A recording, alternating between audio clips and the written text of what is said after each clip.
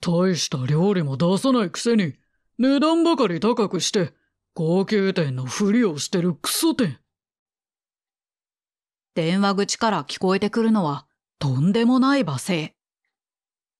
そんな店で、貧乏人兄弟が作った飯なんて誰が食うんだか。キャンセルだ。ぼったくり価格なんだから、代金はお前が払っておけ。一方的にボロクソ言われた挙句、電話は切られてしまった。本当にごめん。全部俺のせいだ。お前にも迷惑をかけて。俺は弟に頭を下げる。しかし弟は、そんな俺の肩を叩き。そんなクソみたいな店で、貧乏人とその弟が作った料理を食ってられるかよ。俺は堀口充。弟と共に高級居酒屋をやっている。去年の春、弟は海外修行から帰国。それを機に開店してから間もなく一年だ。弟は一つのことを徹底的に突き詰めるタイプだ。だから、中学卒業後、弟はすぐに海外へ料理修行に出た。こだわりが強い一方、弟はそれ以外のことにあまり関心を持たない。学校で何か悪く言われても別にいいよとよく言っていた。一方俺は弟とは対照的に大抵のことを問題なくこなせる。だがこれといった特技もない、いわゆる器用貧乏でもあった。弟の海外行きが決まったのは中学2年生の冬。父の友人が遊びに来た時、弟が料理の才能に満ち溢れていることを察した。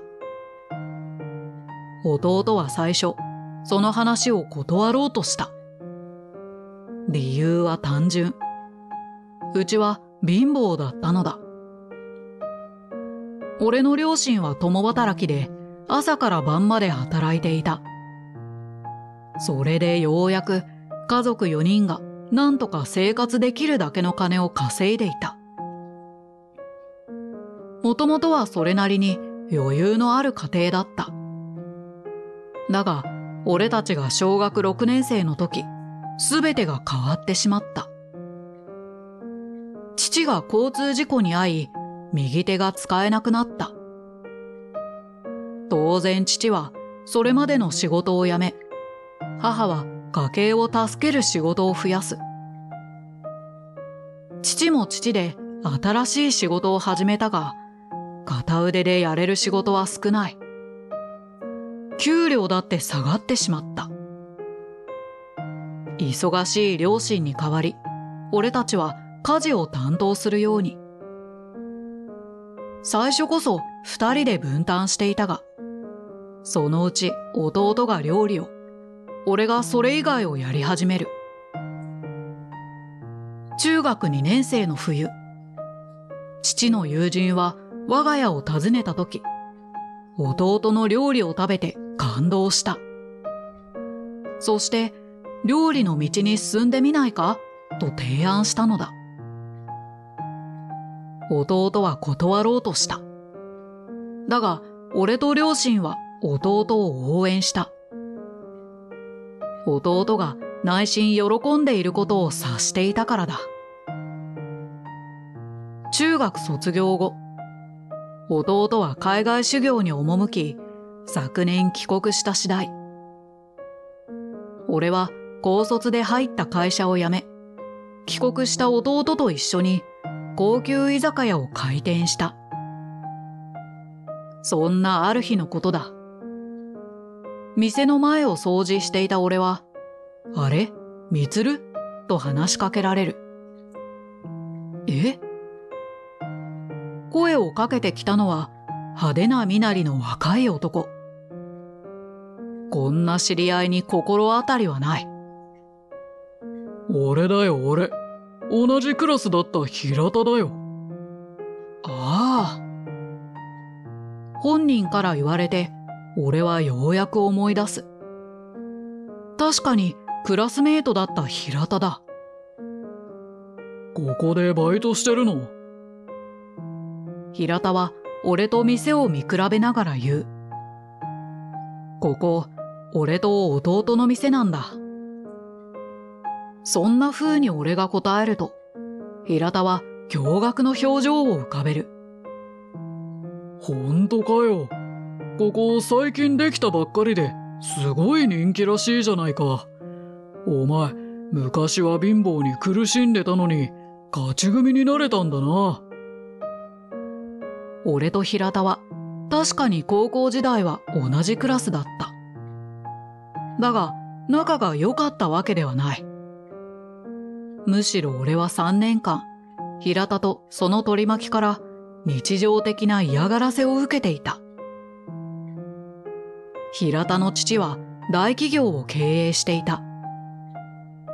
要するに御曹司で、いつも仲間を引き連れて派手に遊び回っていた。俺が平田たちのターゲットにされた理由。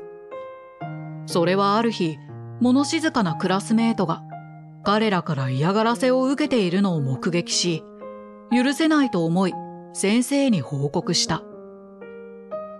貧乏、臭いぞ。これで不況を買った俺はターゲットにされ、連日そんな風に罵倒された。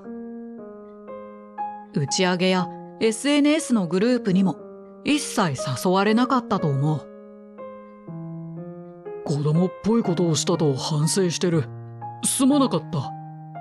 お詫びってわけじゃないが、お前たちのお店応援するよ。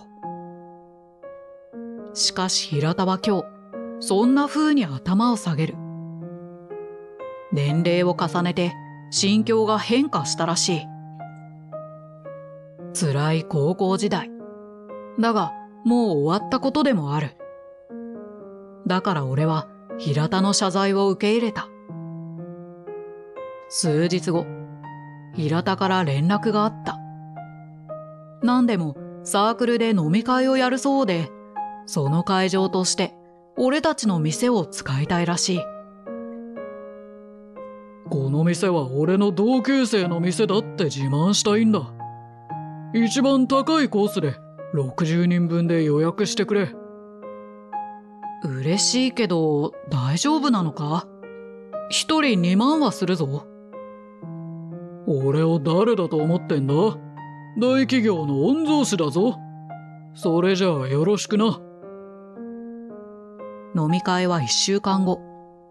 だから俺はすぐさま弟に予約のことを伝えた。60人？すごいね。それなら貸し切りにしないと。弟は嬉しそうに準備を始める。俺はその様子を見て苦笑いしてしまった。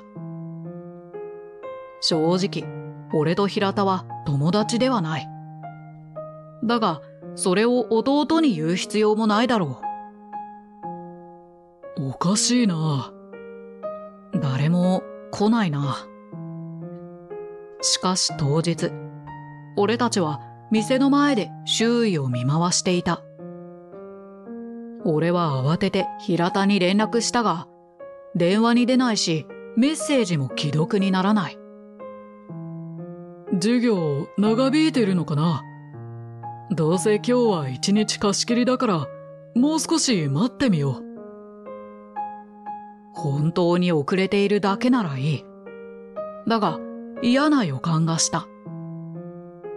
俺は何度も連絡した。そして、ようやく平田が出た時には、予約時間から1時間も経過していた。何か用か？応対する平田の口調は、心底馬鹿にしたもの。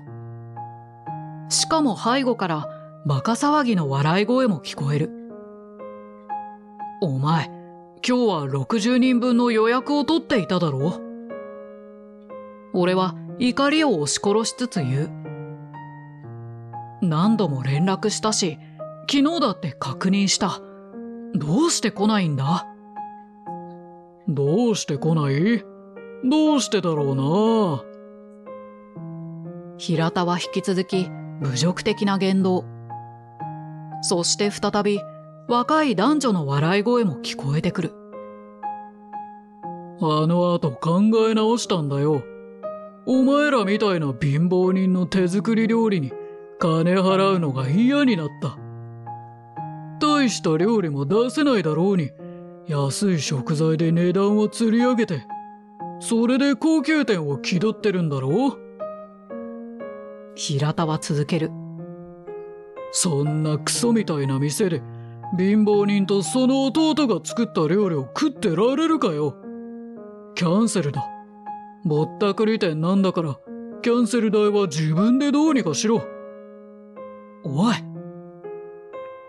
平田は無茶苦茶なことを一方的に言った後、電話を切ってしまった。こちらから何度かけ直しても無駄だった。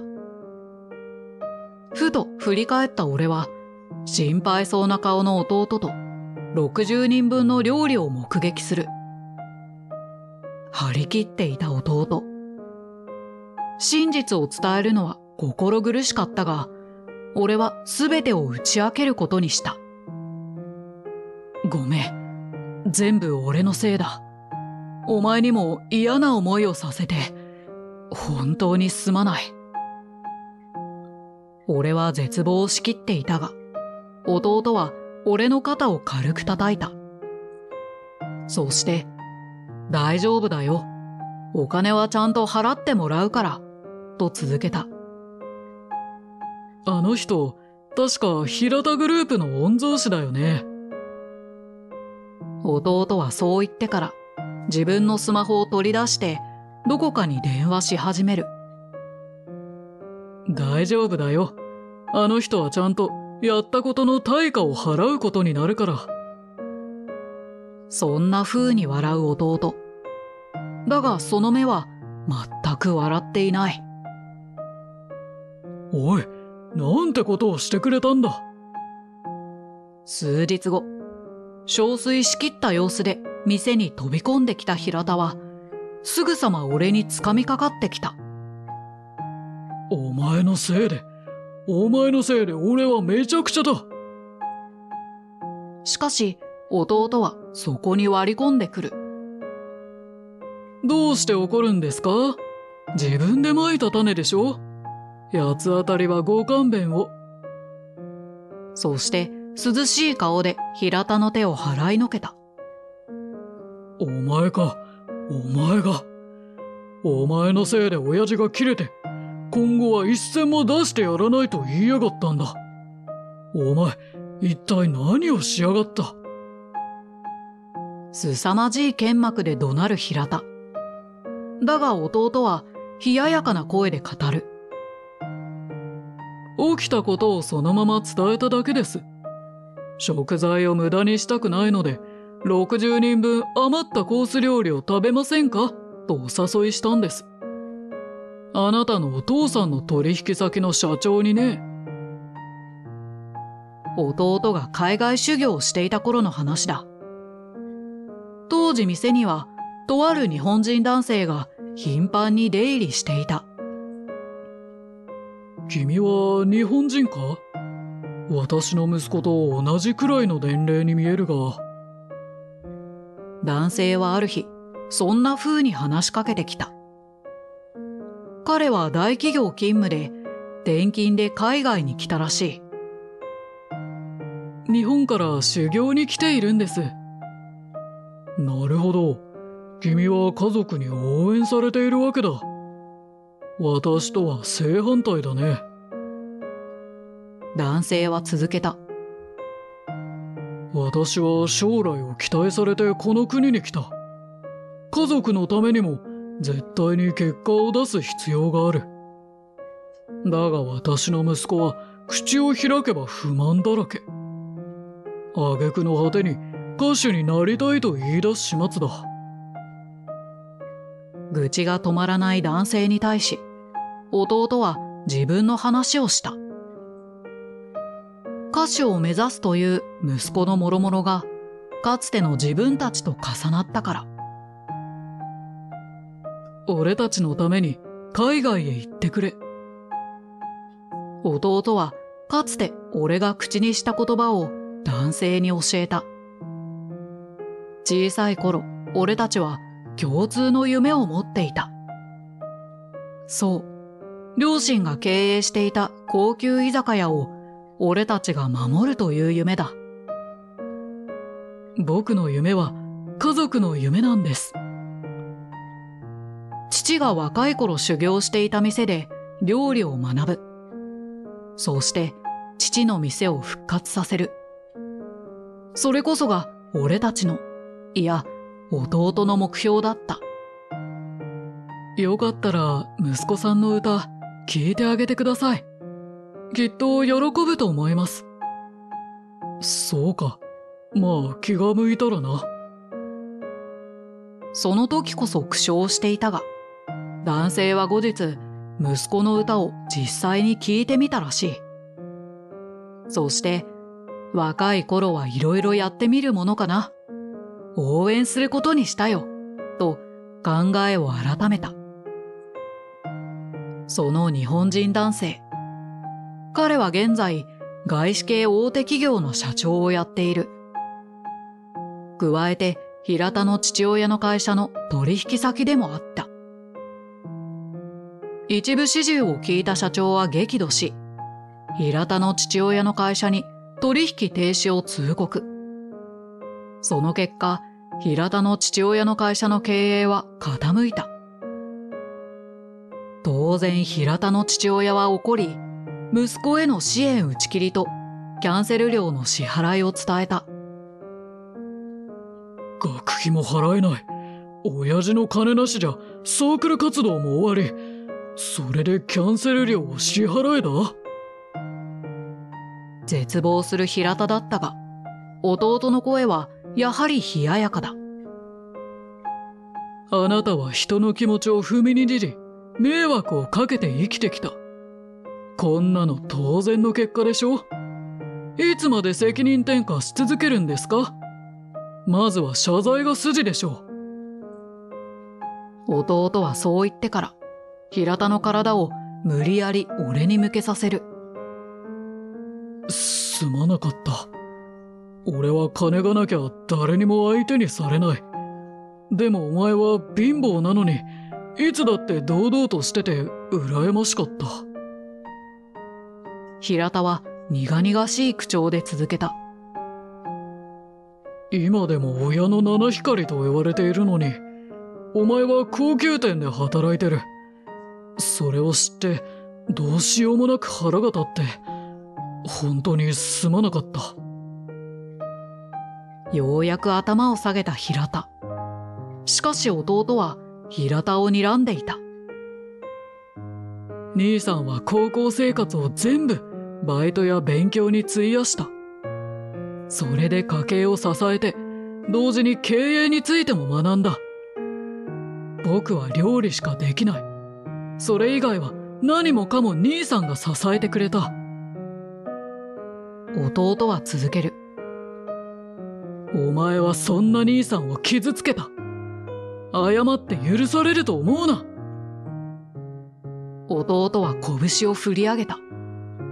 だから俺は慌てて止めに入る。しょ、食材は社長さんが社員と一緒に食べてくれたから。それとキャンセル料はいつまでも待つから、平田が自分で稼いだお金で払ってくれ。俺は、それでいい。ありがとう。本当にありがとう。泣きながら何度も頭を下げる平田。こいつがやったことは許せないが、俺の言いたいことは弟が全部言ってくれた。今、平田はアルバイトをしつつ、分割でキャンセル料を支払っている。ただ、平田がやっていたサークルは解散し、退学する者もいたそうだ。一方、店の経営は順調だ。最近では両親も手伝ってくれるようになった。弟が世話になった外資系企業の社長さんも常連となった。社長さんの息子も少しずつだが知名度を上げている。器用貧乏もいいところの俺。それでも俺は支えてくれる人たちのために頑張りたいと思う。それが何よりの恩返しなのだから。最後までご視聴ありがとうございます。もしよろしければチャンネル登録よろしくお願いいたします。では次の動画でお会いしましょう。